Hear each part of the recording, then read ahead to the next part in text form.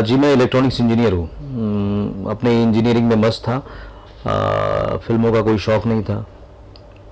अचानक दूरदर्शन पे एक फ़िल्म देखी आनंद। और ये सोच में पड़ गया कि ये कौन सी विधा है जिससे एक इंसान पर्दे के माध्यम से आपके ऊपर इतना प्रभाव डाल सकता है। और तय कर लिया कि अब इंजीनियरिंग नहीं करूँगा और एक्टिंग करूँगा। बस वही सोच मुझे बॉम्बे खींच लाई। कुछ थिएटर और फिर कुछ मराठी फ़िल्में एज अ लीड एक्टर करने के बाद अ, फिर से मैं उसी मुकाम पर पहुँच गया था कि जो अ, जिस तरह के किरदार मैं अ, करना चाहता था या जो सोच के मैं बॉम्बे आया था अ, वो फ़िल्में मैं नहीं कर पा रहा हूँ। सो अ, सोचा कि क्यों ना कलम उठाई जाए और वो किरदार करने की कोशिश की जाए जिस किरदार को निभाने के लिए या जो फ़िल्में लोगों तक पहुँचाने के लिए मैंने अपना इंजीनियरिंग छोड़ा था। और कलम उठा के एक फ़िल्म लिखी, अन्ना। उस उस व्यक्तित्व के ऊपर जिसको लोग अन्ना हजारे के नाम से जानते हैं लोग अन्ना जी को चौहत्तर साल के अन्ना हजारे के व्यक्तित्व से ही जानते थे। एज अ राइटर मेरे लिए था कि अ, लोग बहुत ज़्यादा इंटरेस्टेड होंगे ये जानने के लिए कि कैसे एक छोटे से गाँव से अ, एक सातवीं पास बहुत कम पढ़ा लिखा हम्म, बहुत ही विपरीत परिस्थितियों से किशन बाबूराव हजारे ये अन्ना हजारे बन गए। और डेढ़ साल अ, स्क्रिप्टिंग पे मेहनत करने के बाद अ, अन्ना जी का जहाँ जन्म हुआ भिंगार रालेगन औरंगाबाद घूमने के बाद मैं अन्ना जी के पास पहुँचा कि अन्ना जी अ, मैं चाहता हूँ कि आपके ऊपर फ़िल्म बने। हम्म, बहुत अ, शौक हुआ ये जान के कि अन्ना जी नहीं चाहते कि उनके ऊपर कोई फ़िल्म बने। दो ढाई महीने हम्म, अन्ना जी के पीछे परसीव करने के बाद अन्ना जी ने पाँच मिनट दिए मुझे और मुझसे कहने लगे कि कुछ डायरेक्टर्स इससे पहले भी आए थे और मैंने उनसे यही कहा कि क्यों नहीं आप गांधी जी पे फ़िल्म बनाते हो?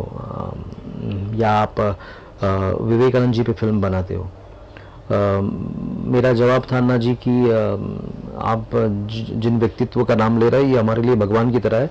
लेकिन मैं या मेरी पीढ़ी जब आपकी तरफ़ देखती है तो सोचती है कि अ, ऐसी ऐसा क्या रास्ता आपने अपनाया है कि इतनी कम पढ़े लिखने होने के बाद इतने छोटे से गाँव से निकल के आप देश के पटल पे इस तरह पहुँच गए कि आज आम आदमी सोचता है कि अन्ना जी देश का भ्रष्टाचार खत्म कर सकते हैं, अन्ना जी अपने लगते हैं।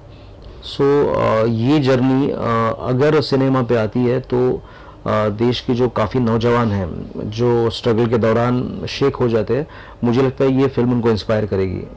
अन्ना जी से मैंने ये भी कहा कि आप हमेशा कहते हैं कि आप नौजवानों को जगाने की कोशिश करते हैं। मैं फ़िल्म मेकर हूँ और मैं फ़िल्में बना सकता हूँ तो फ़िल्मों का माध्यम से मैं आपका कार्य अगर लोगों तक पहुंचाऊँगा तो आपका ही कार्य मैं कर रहा हूँ मुझे लगता है अन्ना जी को ये बात अच्छी लगी और अन्ना जी ने उन पे फ़िल्म बनाने के लिए मुझे हाँ कही। उत्साहित हुआ, उसके बाद में और बेटर करने के लिए हमने छः सात ड्राफ्ट्स बदले छोटी छोटी चीज़ों के साथ। और आज अन्ना फ़िल्म लोगों को पसंद आ रही है। लोग ये कहते हैं कि अ, फ़िल्म नहीं लगती अ, ऐसा लगता है अन्ना जी की रियल जर्नी है। और अ, ये बात स्वयं जब अन्ना जी ने कही कि अ, कई बार फ़िल्म देखते वक्त ऐसा महसूस होता है कि वहाँ तुम नहीं अ, मैं बैठा हूँ। और जो जर्नी तुमने दिखाई ऐसे लगता है कि मैं अपने फ्लैशबैक देख रहा हूँ। तो as a film maker as a actor as a director बड़ा सेटिस्फाइड लग, लगता हूँ कि अ, जिनके ऊपर फ़िल्म बनाया था उनको और जिनके लिए फ़िल्म बनाया था उन दोनों को फ़िल्म पसंद आ रही है। दो कॉन्ट्रास्ट कैरेक्टर एक तरफ़ सांबा जी का बनना राजा रंग किस तरह मैनेज किया?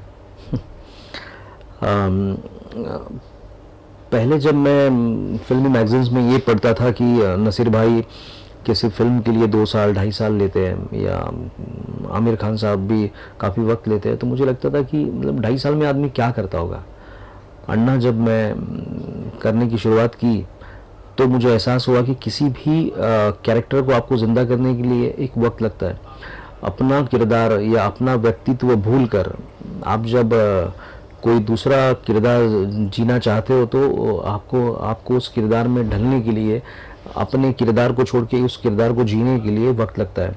और वो वक्त सिर्फ़ टाइम का नहीं होता, क्योंकि कभी कभी वो किरदार इतना कॉम्प्लेक्स होता है कि वो कॉम्प्लेक्सिटी आपको, आप ऐसे अभिनय नहीं जी सकते। आपको उस किरदार को जीना होता है और उसके लिए वक्त लगता है।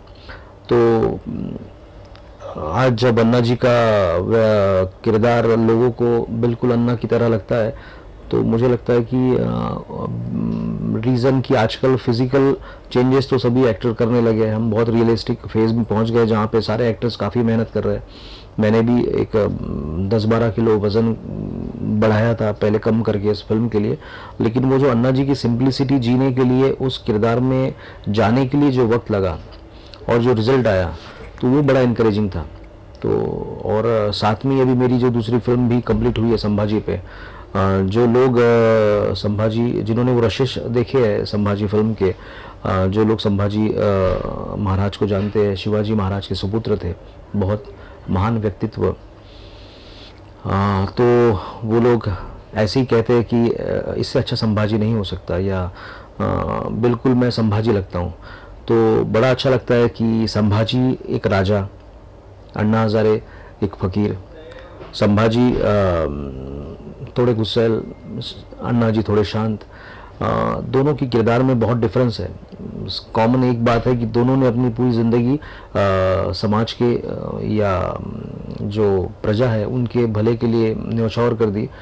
दोनों किरदार, जब लोगों ने अन्ना तो पब्लिक और सभी ने देख चुके हैं, वो अप्रिशिएट कर रहे हैं। जिन्होंने ऋषिश में संभाजी देखा है, वो ये कहते हैं कि बिल्कुल संभाजी लगता है। तो ये as an actor as a director काफ़ी सेटिस्फेक्शन देता है। मैं हर तरह की फ़िल्में करना चाहता हूँ। हैविंग सेट दैट जो बायोपिक्स भी कर रहा हूँ अगर आप उसको अलग ढंग से ले तो ये डिफरेंट स्टोरीज़ है। एक एक अन्ना हज़ारे जैसा व्यक्तित्व जो पंद्रह साल मिलिट्री में था, फिर काफ़ी साल उसने एज ए किसान गाँव को दिए और उसके बाद में वो सोशल एक्टिविस्ट होके देश के भले के लिए लॉज बनाने लगे। ये एक एज एन एक्टर आपको बायोपिक का फ़ायदा होता है कि वो व्यक्तित्व जिए होने से वो वेल डिपेक्टेड कैरेक्टर्स होते हैं वेल रिटर्न कैरेक्टर्स होते हैं और एक आपके पास फाइनल रिज़ल्ट लोगों को पता होता है कि ये वो किरदार है जिस जिसको ये बंदा जी रहा है। वो किरदार में थोड़ी सी तकलीफ़ होती है कि अगर आप उस किरदार को उस उतने बेहतर ढंग से नहीं जी पाए आप इमीडिएटली रिजेक्ट हो सकते हो। अगर आप उस किरदार को अच्छे से जी पाए तो आपको अप्रिसिएशन भी उतने ही बड़े लेवल पे मिलता है। सो so, बायोपिक तो कर रहा हूँ लेकिन किरदार डिफरेंट डिफरेंट है। सो वो भी फ़िल्मों की तरह ही है। तो अगर ऐसा कोई बायोपिक आता है तो डेफिनेटली मुझे खुशी होगी कि फिर से कोई बायोपिक मैं कर पाऊँ कोई एक बड़े व्यक्तित्व को मैं निभा पाऊँ। बिकॉज़ नाउ इट इज़ किताबों हमारे वर्ल्ड से किताबें कम होकर टेलीविज़न ने जगह ले ली है। तो बड़े व्यक्तित्व को देखने के लिए नॉट ओनली इन इंडिया बल्कि दुनिया में बायोपिक्स बहुत ज़्यादा बन रही है और अप्रिशिएट भी हो रही है। सो so, हाँ और कितना सेटिस्फैक्ट्री है मानते हैं अपने आप को आज के डेट में, अपने करियर को एज ए करियर तो मैंने जस्ट शुरू किया है। हिंदी मेरी पहली film as actor writer director है। हाँ कुछ मराठी फ़िल्में जब मैं कर रहा था तो मुझे वो फ़ेज़ आया था जब मैं फ़िल्में करने के बाद भी सेटिस्फाइड नहीं था। लेकिन आज जब अन्ना करने के बाद, जो चेंज मैंने अपने अंदर पाया एक फ़िल्म करने के बाद जो चेंजेस मैं सोसाइटी में चाह रहा था या यूथ्स में चाह रहा था तो मुझे लग रहा, लगा कि मैं भी बदला हूँ एज ए ह्यूमन तो अगर मैं बदला हूँ तो कुछ लोग ज़रूर बदले होंगे। अन्ना जी के किरदार से जो जो क्रिएट जो क्रिएटिव सेटिस्फेक्शन मिल रहा है कि क्रिटिक्स हो या ऑडियंस दोनों भी अन्ना जी के किरदार को मैंने अच्छे से निभा, निभाया। ये जो सर्टिफिकेट दे रहे ये डेफिनेटली बहुत सेटिस्फाइंग है। एज अ डायरेक्टर या एज अ राइटर उनको लग रहा है कि ये फ़िल्म बहुत ईमानदार फ़िल्म है। बहुत रियलिस्टिक फ़िल्म लगती है। तो किसी भी एक कलाकार के लिए क्रिएटिव क्रिएटिव आदमी के लिए एक फ़िल्म में तीनों विधाओं में अगर आपको लोग पसंद कर रहे हैं तो ये सेटिस्फेक्शन देता है।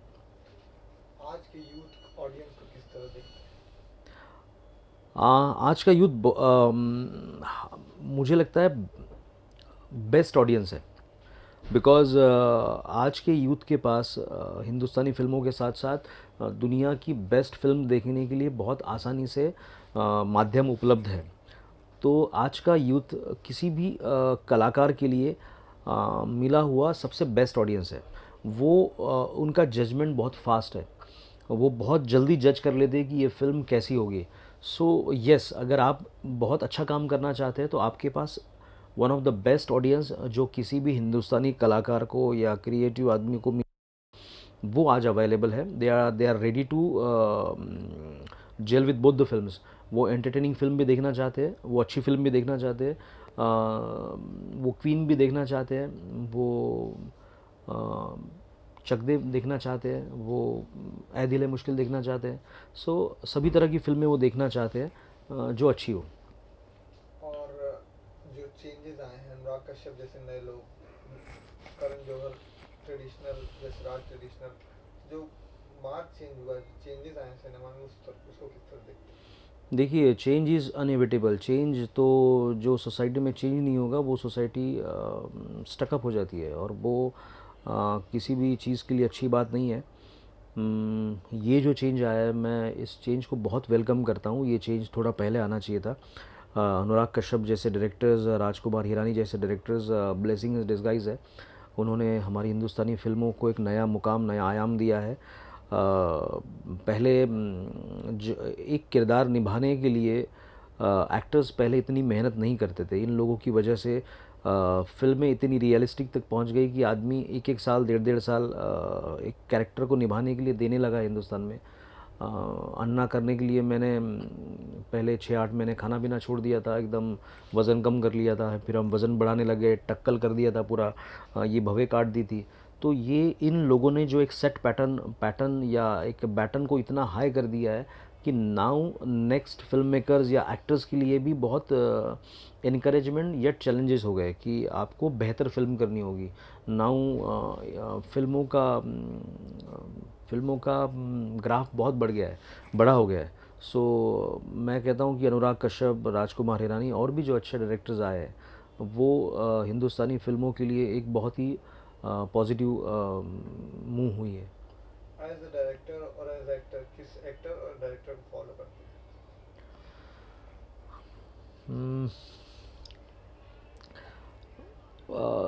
फ्रैंकली स्पीकिंग मैं काफ़ी एक्टर्स को पसंद करता हूँ। मैं दिलीप साहब को बहुत पसंद करता हूँ। मैं राजेश खन्ना साहब का बहुत बड़ा फ़ैन था। उनकी वजह से मैं फ़िल्मों में आया। मैं भी आमिर खान को बहुत पसंद करता हूँ। बच्चन साहब को पसंद करता हूँ। लेकिन फ़िल्मों का फ़िल्म फ़िल्म अचानक बहुत बदल गई है। एक एक्टर हमने देखा है कि एक व्यक्तित्व में फंस जाते थे एक किरदार में फंस जाते थे। नाउ अब जो जनरेशन आई है यहाँ पे पहली फ़िल्म से आपकी नेक्स्ट फ़िल्म में आप 360 डिग्री चेंज हो जाते हो। सो so, बहुत ही खूबसूरत मुकाम पे हमारी इंडस्ट्री है।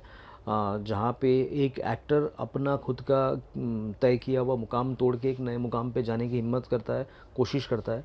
और उसमें ऑडियंस उनको प्यार भी दे रही है। तो अब बड़ा रियलिस्टिक ढंग पे पहुँच गए हम लोग।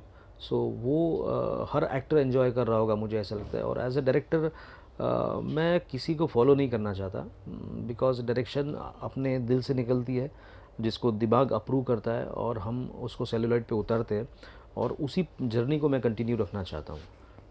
आखिर में दर्शकों से कोई खास संदेश जिन्होंने आपकी आ, धन्यवाद देना चाहूँगा कि अन्ना जैसी फ़िल्म को आपने देखा, आपने सराहा, आपने काम पसंद किया और आपकी ये जो इनक्रेजमेंट है उसी के वजह से मैं और भी अच्छा काम आगे करते रहूँगा, और आप उस काम को भी सराहते रहेंगे, यही मैं आशा करता हूँ। Thank you very much